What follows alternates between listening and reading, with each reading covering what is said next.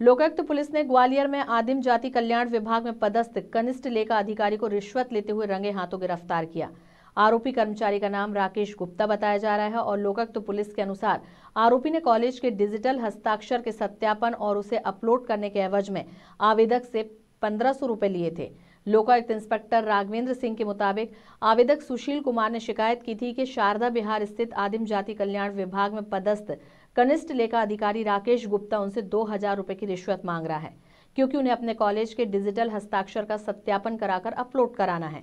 Lokayukta police ने सुशील की शिकायत सुनने के बाद उसे एक वॉइस रिकॉर्डर देकर शुक्रवार को आदिम जाति कल्याण विभाग में रा, राकेश के पास भेजा।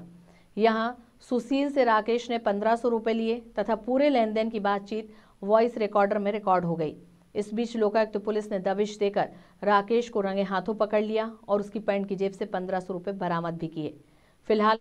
घूसखोर लोकायुक्त तो पुलिस के शिकंजे में है और कार्रवाई जारी है। पाँच तारीख को आवेदक सुशील कुमार मेरे पास आया था और उसने कहा था कि कनिष्ठ लेखा अधिकारी श्री राकेश गुप्ता,